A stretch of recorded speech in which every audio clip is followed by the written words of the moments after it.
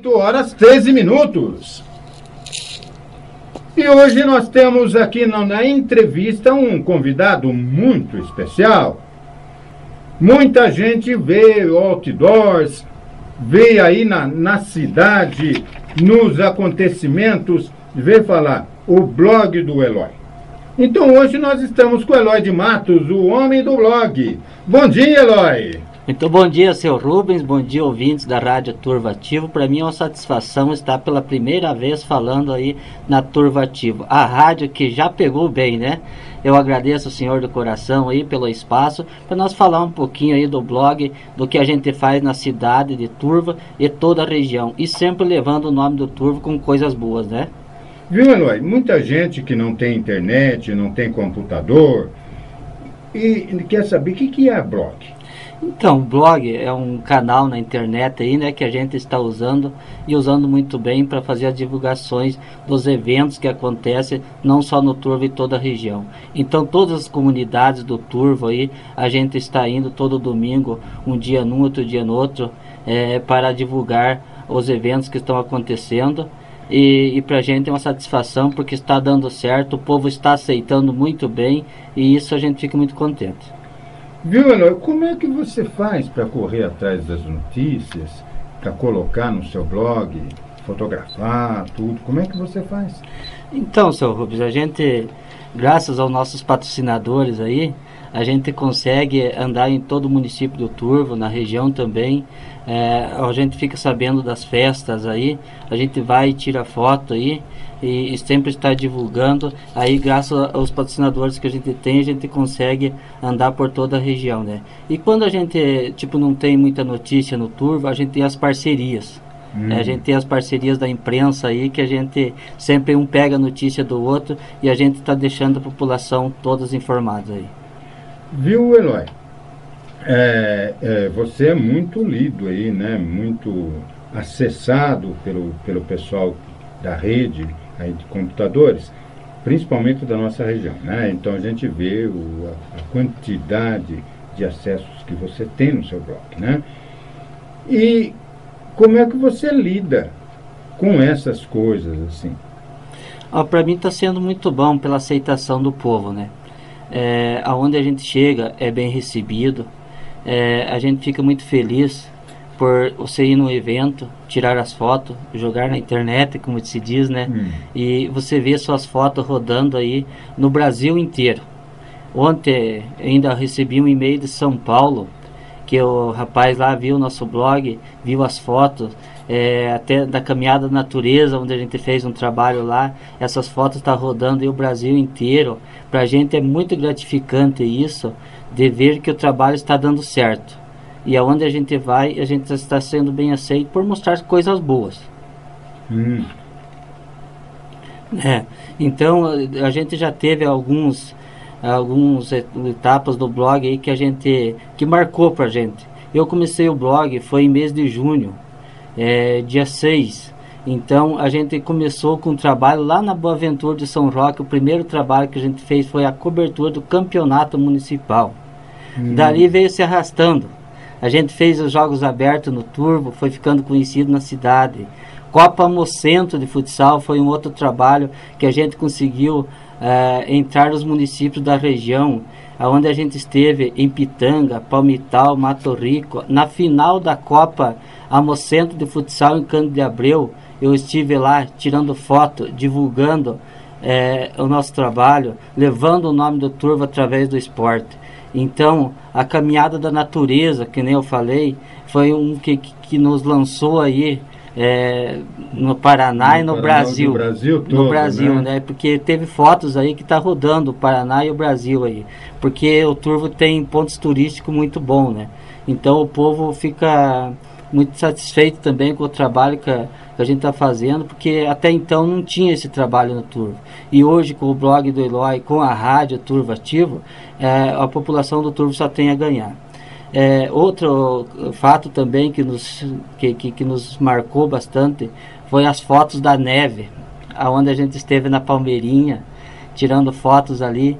Então foi um trabalho também que abrangeu todo um estado, o Brasil, é, fotos que a gente nem dimensão não tem onde estão essas fotos. É, saíram em diversos lugares, diversos órgãos de imprensa, colocaram sua foto, né? É, do, gente... do, do, da neve aqui no Turvo, aí, aqui na região nossa, publicado em outros meios de comunicação as, suas fotos, né? É, isso só nos dá mais força ainda para continuar aí a luta. Ainda não somos nada, né? Hum. Ainda a gente está caminhando aí com os pés no chão, mas com certeza aí com os pés no chão a gente vai conseguir alcançar nossos objetivos. Outra, outro evento também que, que, que nos marcou um pouco aí foi a festa do porco no rolete. Hum, é, festa do porco no rolete. Tem fotos aí também rodando aí é, no Brasil aí que ficou muito bonita as fotos já tradicional festa da igreja é, luterana ali que foi as fotos do porco no rolete Olimpíada Rural também Olimpíada Rural também um trabalho muito bem feito então blog, né? a gente esteve com o stand lá é, foi, foi, bem aceito nosso trabalho Olimpíada Rural também nos deu oportunidade de crescer ainda mais com o nosso blog é, tivemos também fazendo um encontro de trilheiros em Boaventura, que é a região que atinge mais a região do Amocentro, é, também foi muito bem aceito. Tivemos em São José dos Pinhais, fazendo um trabalho lá com meu amigo Japa, do Genoma Colorado, né? É, então lá a gente fez amizade com, com o pessoal lá, o pessoal sempre acessa o blog. Tivemos também fazendo a cobertura do rodeio de Boaventura, também o pessoal é, pode ver as fotos ainda. Até hoje estão vendo as fotos, estão compartilhando as fotos do rodeio. Isso para a gente é, é, nos dá motivo aí sempre para continuar, né? Festa da paróquia foi uma também muita gente aí foi bem aceito aí as fotos, muita gente pegando fotos. Tive em Mangueirinha também logo após fazendo um trabalho lá numa reportagem lá na área indígena, no colégio estadual lá, que nos convidaram, a gente ficou muito feliz porque temos parcerias naquela região. Tivemos também Honório Serpa com o Genoma Colorado, fazendo a cobertura das finais do Campeonato Paranaense, aonde o Genoma Colorado de Turvo foi campeão no juvenil, no infantil, e aonde estaremos agora, semana que vem em Ijuí, Rio Grande do Sul. Ah, então vocês vão para o Rio Grande do Sul agora, então? A gente vai para o Rio é. Grande do Sul representar o nome do Turvo através do esporte com o Genoma Colorado, já que ele foi campeão paranaense, ele tem o direito de disputar o brasileiro do Genoma Colorado. E a gente vai lá com o blog do Oloy, vai fazer as participações ao vivo de lá para a rádio, vai fazer em tempo real de lá. Então sempre levando o nome do Turvo. Muito bom. E, e a gente vê fotos uh, que foram usados por vocês, por exemplo, naquele trágico acidente, né? Aquele trágico acidente que teve aqui na, na, na PR 466, né? que, que faleceram aqueles, aquelas três pessoas, do carro de transporte de valores. Então a gente viu aquela foto sua, né? Sendo publicada em outros jornais aqui da, da, da região, né? E é um, um grande acontecimento para nós que militamos na imprensa da cidade, a, a, esse seu blog, né?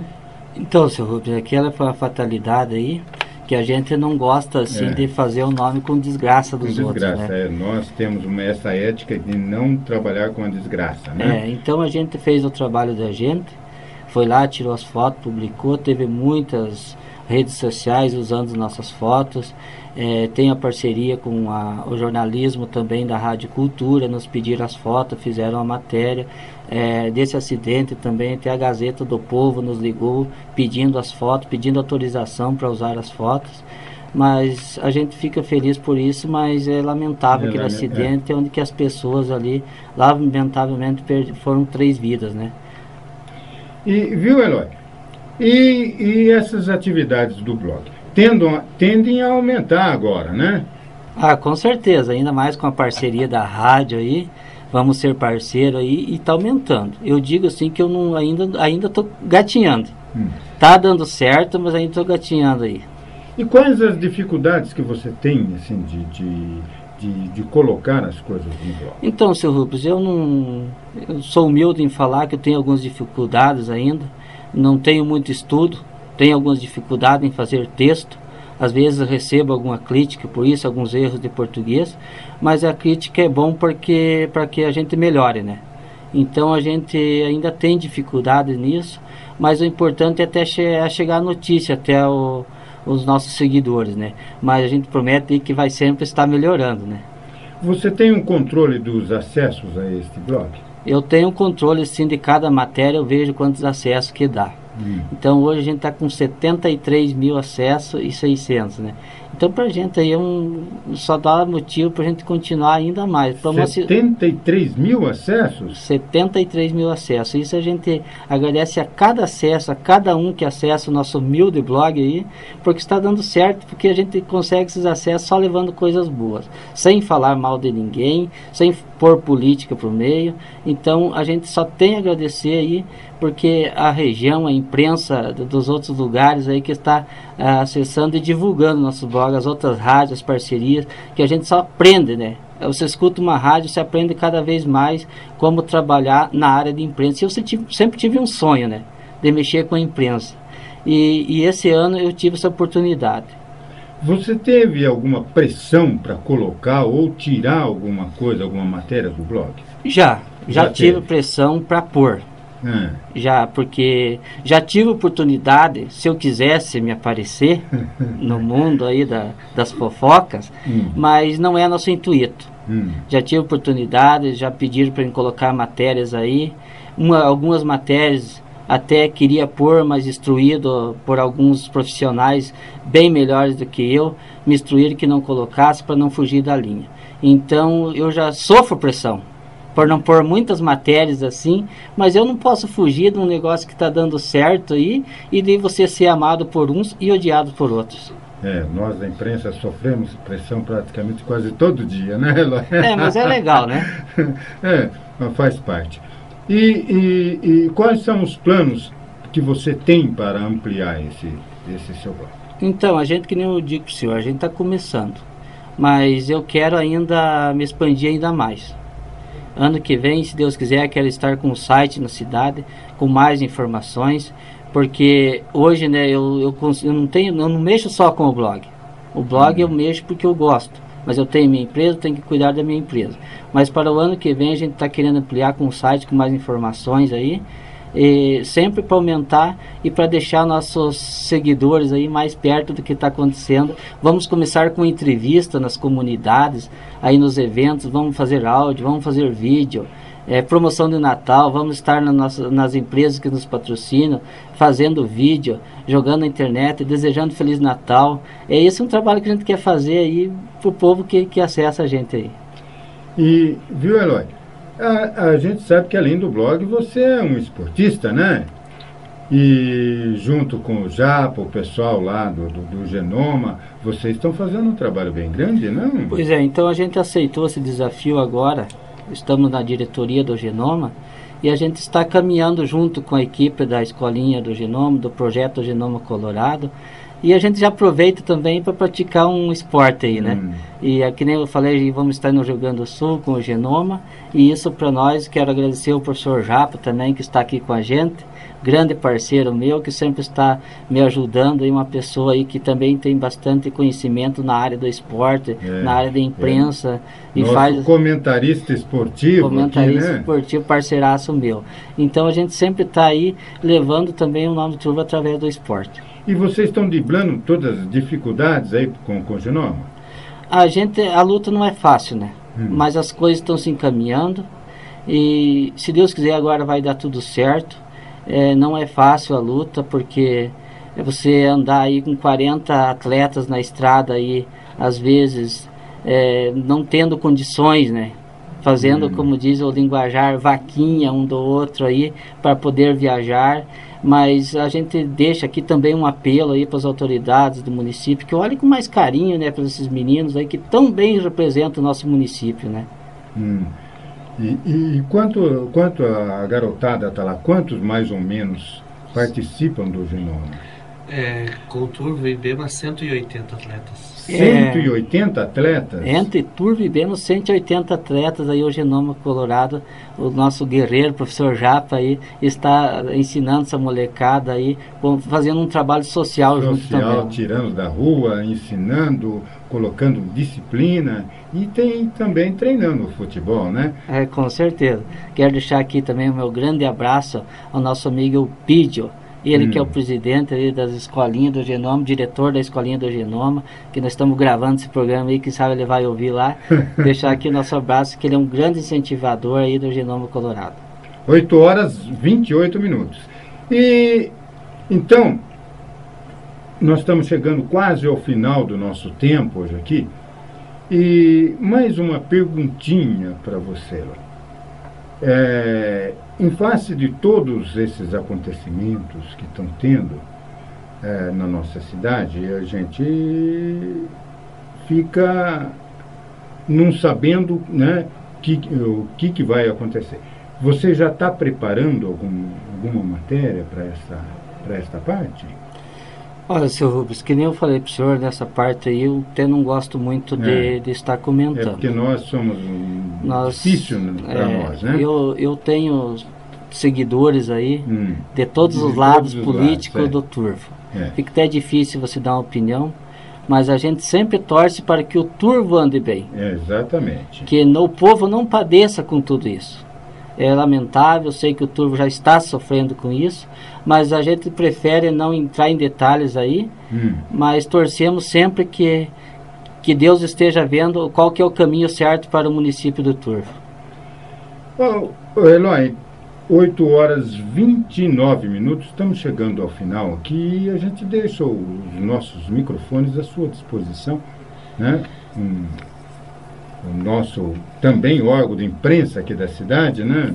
Nós deixamos à sua disposição para falar alguma coisa aos nossos ouvintes. Então, seu Rubens, só tenho que agradecer o senhor, o Gilmar, que está aqui, que é, faz parte da direção da rádio, pela oportunidade que está nos dando para que nós fale um pouquinho do nosso blog e agradecer de coração a pessoa do Osni também, um batalhador é, que tanto lutou por esta rádio e hoje o Turvo só tem a ganhar com isso. Quero agradecer, é, avisando aí também o pessoal de Santa Maria que a rádio pega lá também. Pega que lá estaremos também. lá na sexta-feira no evento fazendo a cobertura e as fotos aí você pode ver no sábado. É, quero agradecer ao senhor mais uma vez pelo espaço e sempre conte com a gente ou vamos fazer parceria entre o blog do Eloy e a Rádio Turvativo para que nós dois cresça ainda mais juntos. E aproveitando a deixa, eu gostaria de fazer um, um, um comunicado a todos que conheciam o Eloy antes da Malharia Moriá. Hoje eu não faço mais parte da Malharia Moriá. Muita gente me procura pensando que ainda eu faço parte daquela empresa. Então, só tenho a agradecer ao senhor por esse espaço. Eu tenho minha empresa que é a Malharia Brasil, em cima do Correio, o escritório do blog do Eloy. Precisando, se quer ver alguma foto de algum evento da região aí, é, nos procure que com muito carinho a gente vai mostrar para vocês. Porque eu tenho todas as fotos. Todas as fotos onde eu vou, eu não apago uma foto, eu guardo todas. Muito obrigado, seu Rubens, e até uma próxima oportunidade. Então, obrigado, Eloy. Obrigado, povo do Turvo. 8 horas 31 minutos, estamos chegando ao final da, da primeira edição da Hora da Notícia. E agora vocês vão ficar com o nosso DJ Marquinho, que vai ficar com vocês até o meio-dia, tocando a melhor música, o melhor entretenimento. Bom dia, Turvo!